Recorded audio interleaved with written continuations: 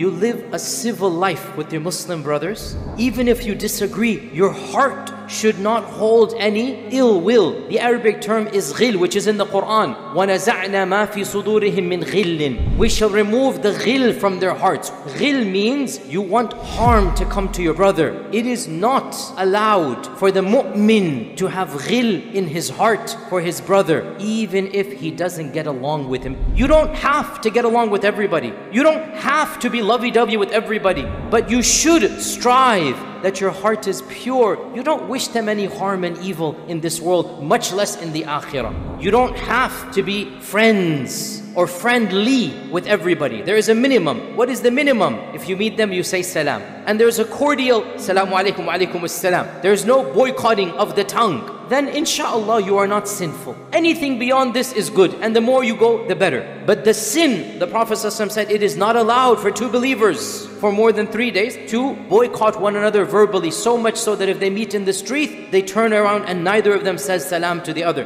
This is not allowed. Seven points from the Quran and Sunnah about how to practically achieve the lack of ghil. One, two, and three are in one hadith. In fact, this hadith is the most explicit hadith about how to remove ghil because it literally begins Three things shall never allow ghil to remain in the heart of the Muslim. Number one, our Prophet ﷺ said, doing your amal mukhlis for the sake of Allah. Whenever you do something, don't do it for other people, do it for Allah subhanahu wa ta'ala. When you have ikhlas for Allah, it will help you overcome your ghil. Number two, wanting the best and giving nasiha to the leaders of the Muslims. The leaders here means both political and clergy and scholarship. You should not busy yourself with the faults of the leaders You are responsible for yourself. And if you must, then wish good for the ummah. Try your best to help whatever you can the leaders of the ummah. And number three, وَلُزُومُ جَمَاعَتِهِمْ Stick with the jama'ah of the believers. Be involved with your community. Subhanallah, one thing I've noticed, wallahi brothers and sisters, those people who are constantly, constantly creating drama in the community or online, you never find them active in the masajid. You never find them being involved with their local ground community. And this is the reality across the globe. There are some people, they have made a name for themselves, you know, creating drama, putting so much fitna out there, and their local masjid is unaware of them. Our Prophet ﷺ said, stick with the jama'ah of the believers. Humanize Islam. Be involved with your communities. When you're interacting with other Muslims, automatically you will understand we are all human. I make mistakes, they make mistakes. You will be involved in something which is tangible good, real good, which is in our communities.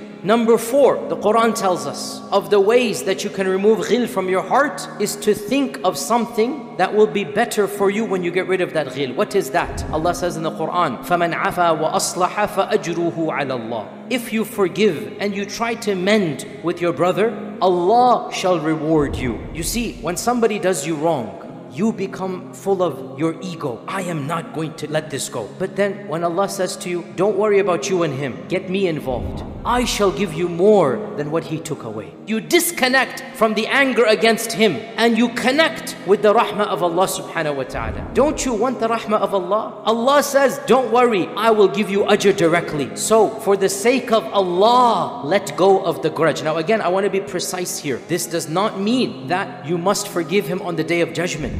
If somebody has really wronged you, it is possible to have no ghil and still get your reward on the day of judgment. Sometimes people really stab you in the back. They really hurt you. They really do something wrong and you find it difficult to forgive them. And sometimes they do it repeatedly. You know what? It is possible to live your life without any ghil and still get your full ajr from them and from Allah. How so? Go to sleep and have no animosity towards them in this dunya. And say, inshallah, on the day of judgment, Allah will give me what I need. That's it. You've achieved it. Because you know what? When you're bitter, when you're full of anger and rage, wallahi, sometimes, look at the brothers of Yusuf, you will go down a negative path and you will do something you yourself will regret. In this world, live a carefree life. Say, khalas, that's what the day of judgment is for. You go to sleep, clean heart, no ghil, and then you expect, oh Allah, you said, فَأَجْرُهُ عَلَى Allah. So in this world, I have no ghil but on the day of judgment, I want my haqq. Point number five, understand the number one tactic of shaitan is to make these issues between you and your brother a cause of disunity for the ummah. In a hadith in Sahih Bukhari, our Prophet ﷺ said, Shaitan has given up hope that he shall ever be worshipped in the Arabian Peninsula. But shaitan has one tactic.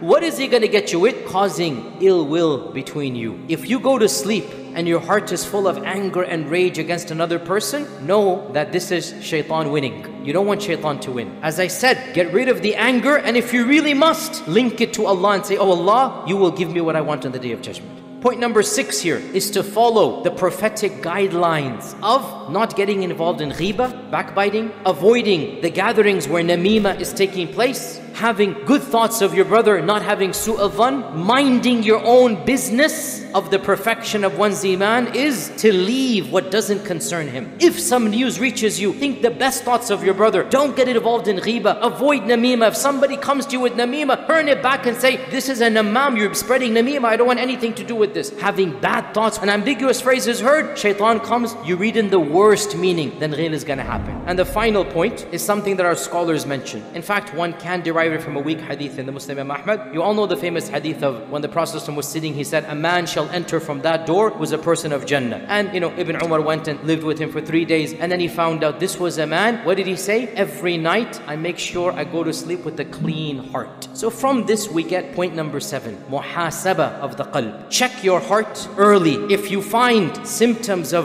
rage, symptoms of anger, if you think of somebody and your blood begins to boil, well then, you had better eliminate this. That's just not healthy for you. It's not healthy for you to have that much rage against somebody who's lowering his head to Allah subhanahu wa ta'ala. Again, over and over, I'm not saying forgive on the day of judgment, but forgive in this dunya. If you allow the hatred to seep in day in, day out, then you become obsessed with that person. When you wake up, when you go to sleep, when you're driving your car, you're only thinking about that person. I wish he's destroyed. What do you gain? Your life has become miserable, not the other person's. Let go for the sake of Allah, and you will live a pure life and Allah Azza wa Jal will reward you for all of that. Final hadith and we conclude. Somebody came to the Prophet and said, Ya Rasulullah, which person is the best person? Our Prophet ﷺ said, everybody who has makhmoom al-qalb. Makhmoom is a bit of a technical advanced word. It actually means clean heart. Makhmoom al-qalb, saduq al-lisan. They said, O Messenger of Allah, we know saduq al-lisan is the one who speaks the truth. But what is makhmoom al-qalb? What is the one who has a pure heart? Our Prophet ﷺ said, listen to this. He has taqwa in his heart. His heart is pure